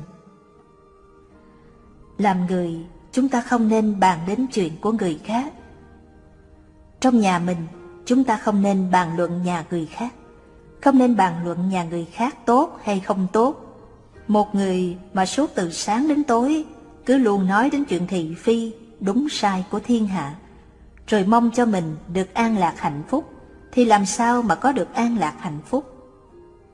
Suốt ngày chỉ nói người này sai, người kia không đúng, còn bản thân mình thì quá sai quấy mà lại không biết, lại cứ cho rằng người khác không tốt. Con người chúng ta có một nhược điểm rất đáng thương, đó là không nhìn thấy lỗi của mình mà chỉ nhìn thấy lỗi của người khác. Điều này cũng giống như trên mặt của mình đang bị rất nhiều bùn đất dính phải, mình lại không thấy, mà mình lại nhìn thấy một vết bẩn trên mặt của người khác, rồi lại chê cười người khác rằng, trên mặt của anh có vết bẩn, thật là tức cười. Nhưng khi đó, người kia sẽ nói lại với chúng ta, tôi chỉ có một vết thôi, còn anh bị cả mặt, sao anh lại không thấy? Con người thường không tự thấy được mặt thật của mình, mà lại rất chú ý đến việc làm của người khác. có khi là chú ý rất nhiều nữa là khác. Khuyết điểm của bản thân thì không thấy, lại mỗi ngày đều phê bình sự tốt xấu của người. Mỗi ngày đều mãi chê bai trách cứ người khác. Chúng ta thật kỳ lạ, tự đem những khuyết điểm của người khác làm phiền não cho bản thân, tự mình chuốc khổ cho mình. Vì thế nên nói, người có trí tuệ thì tùy lúc, tùy nơi đều có thể sống an lạc, vui vẻ. Chỉ cần chúng ta xả bỏ tâm tình, không nên để ý đến chuyện thị phi của người khác. Chúng ta có thể cảm nhận được sự hiện hữu hết sức nhiệm màu của dạng vật trong trời đất. Như thế, từ thân ta sẽ có được sự an lạc, nhẹ nhàng. Còn nếu chúng ta không buông xả được những tâm tình của mình, mà cứ dướng mắt vào những hơn thua được mất của cuộc đời, thì làm sao chúng ta sống có hạnh phúc và an lạc? Đức Phật dạy, không ai có thể đem lại sự đau khổ cho ta, mà chính chúng ta tự gây đau khổ cho bản thân mình. Lại nói, người nào hy vọng người khác đem hạnh phúc đến cho mình, thì cũng giống như một người ăn mày đi xin thức ăn của người khác vậy. Thật là khổ sở, bởi vì không phải người khác có thể đem hạnh phúc cho chúng ta, mà chính chúng ta tự tạo ra vậy. An lạc, hạnh phúc có được chính là nhờ vào sự giải thoát, tự tại, sự siêu diệt, xả bỏ, không chấp trước phiền não của chúng ta trước mọi hoàn cảnh. Tất cả đều dựa vào bản thân mình. Bất luận người khác có cho ta bao nhiêu của cải đi nữa, cũng không cho ta được sự an lạc và hạnh phúc. 42. Nhìn lại bản thân Quý vị nên biết, chỉ có trí tuệ và tình thương xuất phát từ nội tâm, chúng ta mới có được hạnh phúc và an lạc trong cuộc sống hiện tại. Một nhà triết học đã nói, phạm sai lầm là bình thường, tha thứ mới là cao thượng. Câu nói này rất quan trọng, quý vị không nên xem thường nó. Chúng ta sống trong cuộc đời, mỗi chúng ta ít nhiều gì cũng đã từng phạm sai lầm. Chỉ khác nhau là lớn nhỏ, nặng nhẹ mà thôi. Chúng tôi mong muốn rằng quý vị sau khi đã học Phật Pháp rồi thì nên học tập và thực hành những điều Phật dạy. Đó là biết khoan dung, tha thứ những khuyết điểm, lỗi lầm của người khác. Giả như quý vị không phạm sai lầm thì tốt rồi. Nhưng biết tha thứ và khoan dung với lỗi lầm của người khác lại càng quý hơn nữa. Và nhất là đừng chú ý đến những lỗi lầm của người khác. Người học Phật cần thiết nhất chính là mỗi ngày, mỗi giờ, mỗi phút, mỗi giây phải luôn luôn chú ý đến hành vi của bản thân. Cần phải thực tập và luôn luôn duy trì chánh niệm trong mỗi lời nói, cử chỉ, hành vi và suy nghĩ của mình. Nghĩa là phải luôn luôn ý thức được mình đang làm gì, nói gì và suy nghĩ gì. Nếu như hàng ngày chúng ta chỉ chú ý đến những khuyết điểm sai lầm của người khác, chúng ta sẽ không có thời gian để nhìn lại bản thân.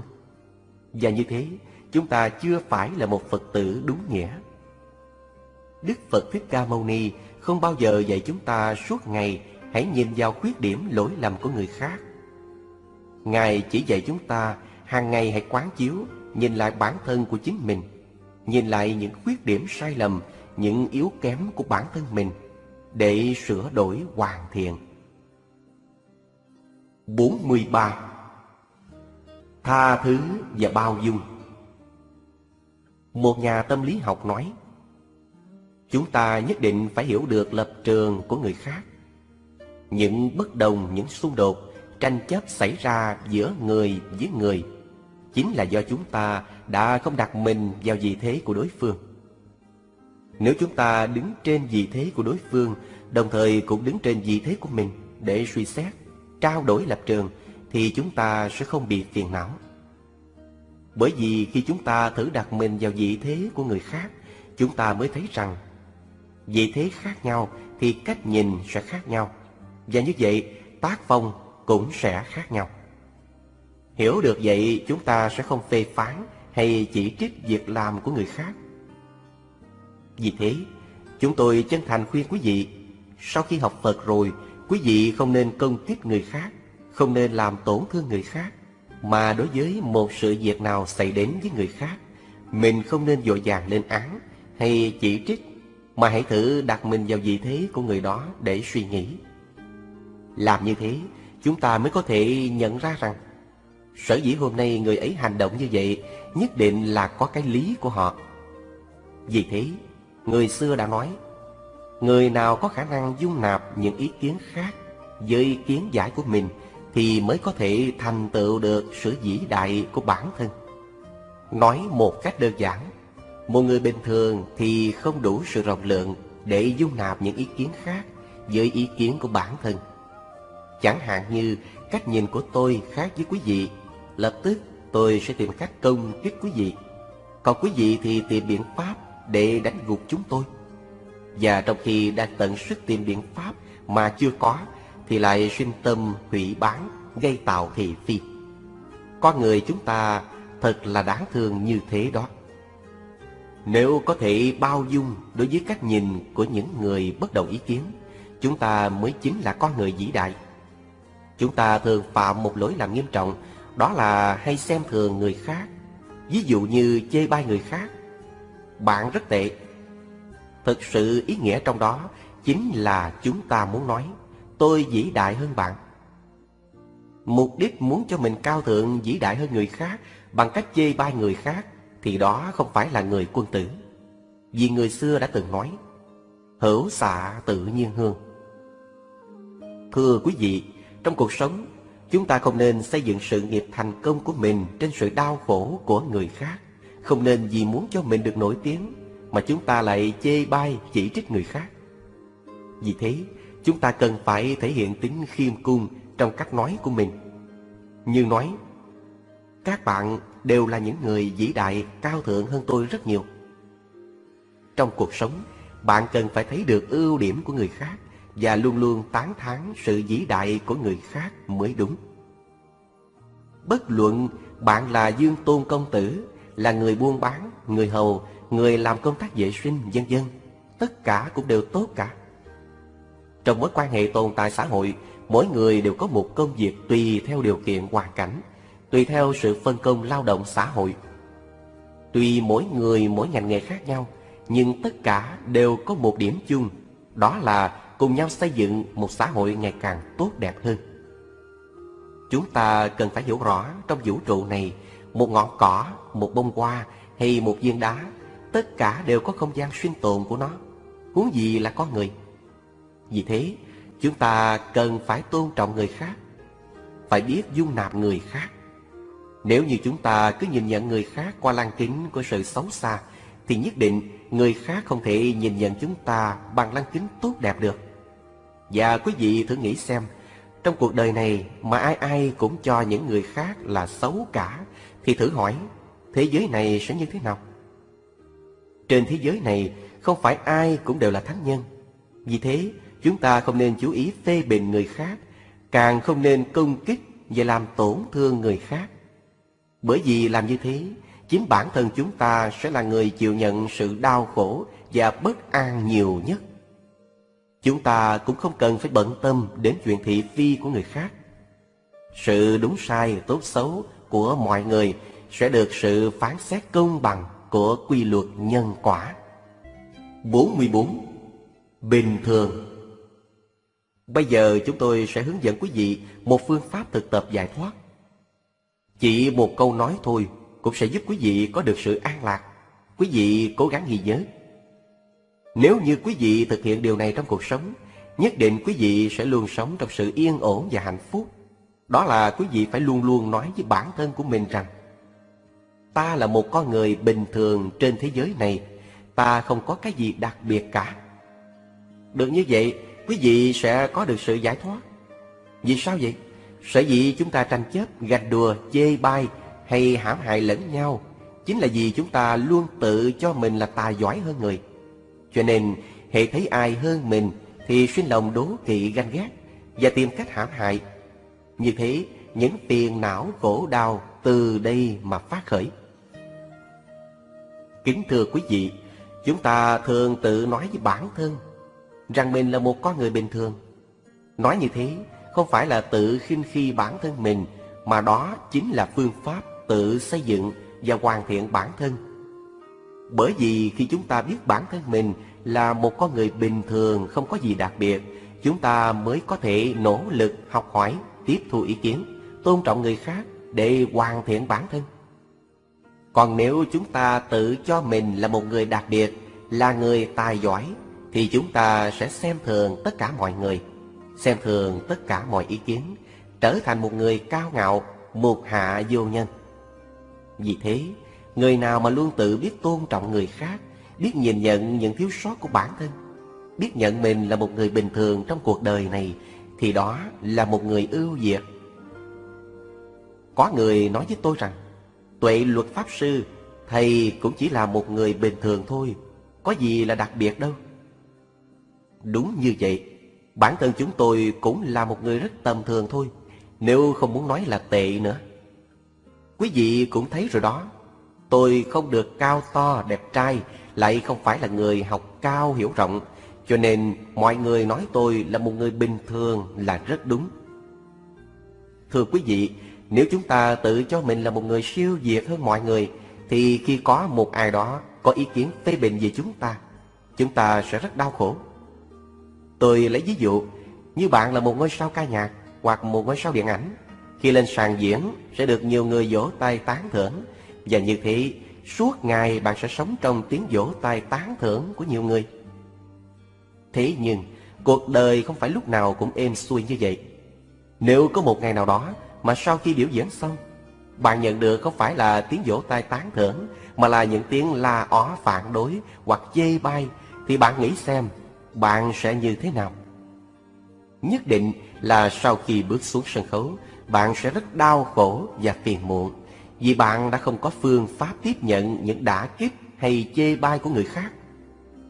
Nếu như trong cuộc sống mà người khác đả kích quý vị, nhưng quý vị vẫn an nhiên, không bị lay động bởi sự đả kích của người khác, thì sẽ không có vấn đề gì xảy ra cả. Cho nên trong cuộc sống, dù người khác có công kích mình, mình nhất định cũng không nên công kích lại người. Vì thế, chúng ta hãy là một người bình thường trên thế giới này. Một người không có gì đặc biệt, không có gì siêu việt, và đừng có chấp trước vào sự khen tặng, vào những vinh quang tạm thời của cuộc đời, thì nhất định chúng ta sẽ có những ngày tháng sống an lạc hạnh phúc. Quý vị nghĩ có đúng như thế không? Người nào hiểu được vấn đề và là một con người bình thường, sống một cuộc đời bình thản, thì đó chính là người hạnh phúc nhất trên cuộc đời này. Có một Phật tử đến nói với tôi, Thưa sư phụ, nếu nói vậy không phải là tự mình làm cho mình mất thể diện hay sao? Tôi trả lời, anh cần phải hiểu rõ điều này. Khi chúng ta đã tận tâm tận lực làm một công việc nào đó rồi mà người khác phê bình hay làm tổn hại đến mình, thì đương nhiên mình cần phải an nhiên bất động trước sự phê bình chỉ trích. Đó không phải là tự làm mất thể diện của mình, mà đó là thể hiện bản lĩnh và khả năng tiếp nhận của bản thân. Bất kỳ người nào cũng không thể làm vừa lòng tất cả mọi người được. Nếu như sống mà chúng ta cứ chờ đợi vào sự tán thưởng của người khác, thì đó quả là một sự mong cầu diễn dông. Nó không ích lợi gì mà còn tăng thêm sự đau khổ cho ta mà thôi. 45. Tán thán tùy hỷ. Một nhà tâm lý học nói Khen ngợi người khác nên khen ở những nơi công cộng đông người. Chúng ta khen ngợi người khác nên khen ngợi trước đông đảo mọi người. Chỉ trích một người hay kiến nghị đối với một ai Chúng ta cần phải tế nhị, nhẹ nhàng và kính đáo. Phật giáo thường nói về vấn đề tùy hỷ công đức, xưng tán như lai. Nghĩa là đối với bất kỳ việc gì mà người khác có sự thành công Thì chúng ta cần phải chung vui và ủng hộ cho sự thành công đó. Không nên tìm cách chê bai hay ganh tị. Trong cuộc sống, chúng ta cần phải dùng tấm lòng thương yêu, lòng hòa nhã, lòng nhẫn nhục. Lời nói thương yêu, lời nói hòa nhã. Lời nói có tính chất xây dựng để thương yêu và quan tâm đến mọi người. Vì thế, nhất định quý vị phải ghi nhớ Khen ngợi người khác cần phải khen ngợi trước đông đảo mọi người. Còn góp ý xây dựng hay chỉ trích người khác thì cần phải tế nhị và kính đáo. Đức Phật đã dạy, người nào mà suốt ngày chỉ chú ý đến khuyết điểm của người khác thì bản thân người đó tràn đầy khuyết điểm. Bởi vì người ấy không có thời gian để nhìn lại mình, để thấy được những sai sót khuyết điểm của bản thân mà đã lãng phí thời gian vào sự chê bai và chỉ trích người khác. Nếu suốt ngày chúng ta cứ mãi chú ý đến những hành vi của người khác và chỉ thấy toàn khuyết điểm của người khác, chúng ta sẽ được lợi gì? Phải chăng cái mà chúng ta được đó chính là đem những phiền não rác rưởi của người khác về làm tài sản của mình? Như thế, chính chúng ta tự làm ô uế nội tâm trong sạch của chúng ta. Nội tâm chúng ta vốn thanh tịnh, bản thân ta vốn có thể an nhiên tự tại. Nhưng chính vì chúng ta đã ngu muội chú ý đến thị phi của người mà tự mình chuốc khổ cho mình. Thật là đáng trách. 46. Thay đổi tự thân Đức Phật đã dạy, chúng ta hãy thay đổi bản thân. Khi có đủ năng lực mới nên làm thay đổi người khác. Nho gia cũng nói, ta đây một ngày ba lần tự thức tỉnh mình. Trước hết cần phải tu thân, tiếp theo là tề gia, và sau đó mới bình thiên hạ. Hôm nay chúng ta bị khổ đau là vì sao? Chính vì chúng ta luôn luôn nghĩ đến chuyện tìm lỗi người khác. Chúng ta muốn làm người khác thay đổi. Chồng thì muốn vợ phải thay đổi, vợ lại muốn chồng phải thay đổi. Hai người không ai chịu nhường nhịn ai. Không ai chấp nhận tự thay đổi bản thân. Cứ như thế dẫn đến những tranh chấp và đổ vỡ hạnh phúc gia đình. Đức Phật có dạy, chúng ta không thể bắt buộc mọi người trên thế gian này theo một tiêu chuẩn đồng nhất được. Mỗi người có một tiêu chuẩn của riêng mình. Tiêu chuẩn không giống nhau, tư tưởng khác nhau, hoàn cảnh khác nhau. Từ đó cách nhìn nhận về vấn đề cũng khác nhau. Vì thế, trong mối quan hệ giữa người với người, chúng ta cần phải biết tôn trọng quyết định của người khác, của đoàn thể. Trong cuộc sống, sinh hoạt của đoàn thể, khi mà ý kiến của chúng ta khác với ý kiến chung của mọi người, thì chúng ta cần phải biết tôn trọng ý kiến chung của đoàn thể. Làm như thế, chúng ta vừa biết tôn trọng ý kiến của mọi người, vừa thể hiện tình đoàn kết. Trong Phật giáo, chúng ta luôn luôn đề cao tinh thần hòa hợp và đoàn kết. 47. Không sợ ngoại đạo Có một vị Phật tử đến gặp tôi và nói với vẻ rất khẩn trương rằng Bạch Thầy, Hiện nay các tôn giáo khác đang phát triển rất mạnh Họ đang tìm mọi cách truyền bá rộng rãi tôn giáo của mình Vậy chúng ta phải làm sao? Tôi trả lời Những tôn giáo khác phát triển mạnh thế nào cũng không quan trọng Chỉ cần Phật giáo chúng ta không có những tranh chấp những loạn động ngay trong nội bộ của mình Thì thử hỏi có ai làm gì được chúng ta? Điều đáng sợ chính là trong nội bộ Phật giáo chúng ta không hòa hợp đoàn kết Lại tranh chấp chia rẽ lẫn nhau mà thôi. Vì sao lại sợ điều này? Tôi xin lấy ví dụ để quý vị rõ. Ví dụ hôm nay tôi đến đây thuyết giảng, thế nhưng trong khi thuyết giảng thì tôi lại công kích chê bai các vị giảng sư khác. Người này tê bình chỉ trích người khác, nhóm này chê bai nhóm khác, và đoàn thể này chê bai chỉ trích đoàn thể khác. Cứ như thế, cùng trong một ngôi nhà Phật Pháp mà chúng ta không tin tưởng lẫn nhau, thương yêu và đùm bọc cho nhau, lại công kích hủy bán lẫn nhau, thì điều này mới là điều đáng sợ nhất. Vì thế, chúng tôi nói không có việc gì đáng sợ cả, chỉ sợ là sợ ngay trong bản thân nội bộ của chúng ta mất đi sự hòa hợp đoàn kết mà thôi. Cũng giống như một cái đại thọ, thân thì rất lớn, nhưng rễ của nó thì đã hư rồi. Vậy thì chúng ta có bón cho nó bao nhiêu phân, bao nhiêu chất dinh dưỡng đi nữa, cũng trở thành vô dụng. Nếu như trong sự tự thân nội bộ Phật giáo chúng ta mà thiếu sự tín thiện, hòa hợp và đùm bọc lẫn nhau, thì chẳng có cách gì làm cho Phật giáo hưng thịnh lên được. Điều này chẳng phải người nào có khả năng phá hoại chúng ta, mà chính là chúng ta đã tự phá hoại bản thân mình. Vì thế, kính thưa quý vị, đã là người đệ tử Phật, chúng ta hãy đồng tâm nhất trí, đoàn kết với nhau, cùng nhau xây dựng hạnh phúc cho mình và cho mọi người, cùng xây dựng đạo Pháp, dân tộc và đất nước ngày càng giàu đẹp. 48. Không nên mơ tưởng diễn dông Một nhà triết học nói Khi chúng ta tìm cầu không được một vật gì hay một điều gì Chúng ta đều cho rằng vật ấy, điều ấy là đẹp nhất, là tốt nhất, là quý nhất đó chính là vì chúng ta không hiểu rõ được chân tướng của các sự vật hiện tượng xảy ra trong cuộc sống. Nếu như chúng ta chịu khó, dành thời gian để tham cứu, tìm hiểu về các sự vật, sự việc đó, thì chúng ta sẽ phát hiện ra những khuyết điểm, những thiếu sót của các sự vật hiện tượng kia. Chứ chúng tuyệt đối không toàn mỹ như chúng ta đã tưởng tượng. Vì thế, đối với bất cứ sự vật, sự việc nào, chúng ta cũng không nên mơ tưởng diễn dông về nó, không nên chấp trước đam mê đối với các sự vật, sự việc.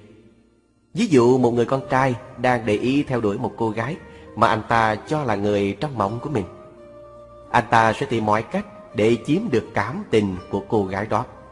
Thế nhưng nếu như anh ta làm mọi cách mà cô gái ấy cũng không đáp lại tấm chân tình của anh ta, thì quý vị nghĩ xem anh ta sẽ như thế nào? Anh ta sẽ không kể đến thân mạng của mình để tìm mọi cách làm cho người con gái đó đáp lại tình cảm của anh. Dĩ như anh ta biết được lúc nào cô gái ấy sẽ đi làm, lúc nào tan sở, lúc nào đi đâu, thì anh ta sẽ đi theo cô ta bất kỳ lúc nào, bất cứ ở đâu.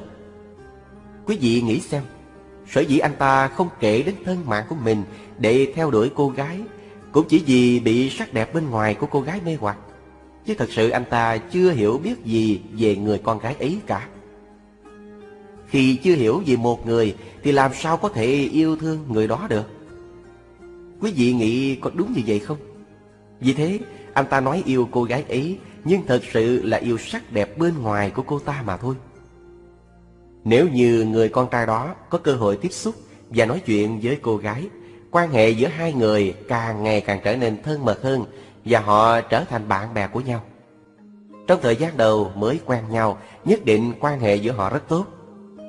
Thế nhưng, trải qua một thời gian quen nhau, có những lúc ý kiến bất đồng Họ không còn nhường nhịn nhau như lúc đầu mới quen mà sẽ cãi giả nhau. Có lúc còn khoa tay múa chân. Thế nhưng vì rất yêu cô gái, cho nên người con trai tuy muốn rời xa cô gái, nhưng lại bỏ không được. Gặp nhau thì thường tranh cãi, tranh cãi rồi lại muốn xa nhau. Xong xa nhau vài ngày lại thấy nhớ. Người này đợi điện thoại của người kia, đi tới đi lui chẳng ai làm được một việc gì cả. Quý vị thấy thế nào? Con người chúng ta có mâu thuẫn không? Vì thế, chúng tôi muốn quý vị hiểu điều này. Bất kỳ một sự việc gì chúng ta cũng cần phải có thời gian để tìm hiểu chân tướng của nó. Đừng có vội vàng hấp tấp, không nên quá ảo tưởng và cũng không nên chấp trước đam mê vào những việc, những điều mà mình muốn nhưng không đạt được. Còn nếu như hai người vẫn chưa hiểu được nhau, chưa thông cảm những yếu kém của nhau, nhưng vì bất kỳ lý do nào đó mà hai người cùng tiến đến hôn nhân thì đó thật là một bi kịch. Bởi vì sau khi kết hôn, giữa hai người sẽ không ai chịu nhường nhịn ai. Ai cũng cho mình là nhân vật quan trọng, thế rồi cứ suốt ngày tranh cãi lẫn nhau. Thậm chí, người con trai còn thô bạo sử dụng vũ lực đối với cô gái. Vì sao vậy? Bởi vì giữa hai người đã không có sự hiểu biết thông cảm lẫn nhau, mà lại đi đến hôn nhân. Hôn nhân đã không được xây dựng trên nền tảng của sự thương yêu hiểu biết thật sự, mà lại xây dựng trên những hào nhoáng bên ngoài của nhau, hoặc vì lý do nào đó mà thiếu đi sự hiểu biết và thương yêu thông cảm nhau thật sự, thì đó chính là bi kịch của hôn nhân. Vì thế, trước khi tiến đến hôn nhân, mọi người cần phải tìm hiểu nhau, nhất là phải biết rằng tình yêu, hạnh phúc gia đình cần phải xây dựng trên tình thương và sự hiểu biết, chia sẻ và thông cảm lẫn nhau. 49. Biết đủ Thưa quý vị, trong cuộc sống nếu cái gì không đạt được thì chúng ta cũng không nên cưỡng cầu. Bởi vì làm như thế, chúng ta sẽ tự gây cho bản thân mình rất nhiều đau khổ. Và đó cũng chính là nguồn gốc của những khổ đau mà con người đã gây ra cho nhau trong cuộc sống. Đối với những điều, những sự việc gì mà chúng ta không có được hoặc không đạt được, chúng ta cũng đừng cho rằng những cái đó là đẹp nhất, là hay nhất. Ngoài ra, không còn có cái nào hơn cả. Trong cuộc sống, còn rất nhiều điều màu nhiệm mà vì sự thiếu hiểu biết chúng ta đã không nhận ra được. Bất kỳ một sự việc nào chúng ta cũng không nên quá ảo tưởng về nó.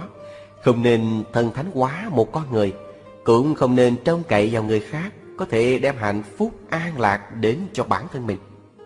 Chúng ta cần phải dựa vào chính bản thân chúng ta, dựa vào cái tâm ít ham muốn và biết đủ của chúng ta, thì nhất định hàng ngày chúng ta sẽ có được sự an lạc và hạnh phúc thật sự. Trong kinh Di giáo, Đức Phật cũng đã dạy, có ít ham muốn là có niết bàn. Chúng ta cần phải quán xét nội tâm của mình, cần phải làm chủ được bản thân, đừng vọng tưởng ở bên ngoài. Hạnh phúc hay khổ đau đều do chúng ta tự quyết định. Đừng bao giờ tìm cầu hạnh phúc cho bản thân từ người khác, bởi vì như thế cũng giống như một người trong nhà của mình có rất nhiều của cải. Thế nhưng chờ, thật là đáng thương vậy. Nếu như chúng ta hiểu rõ được về sự thật của cuộc đời, chúng ta không chấp trước đam mê vào những danh lợi hư ảo, không mơ tưởng hảo huyền, không vọng ngoại tìm cầu mà an trú trong sự biết đủ của tự thân, vui với sự an lạc của nội tâm. Như thế, chính ta là người an lạc hạnh phúc nhất trên đời này vậy. Đừng tiếc like và comment khi xem video.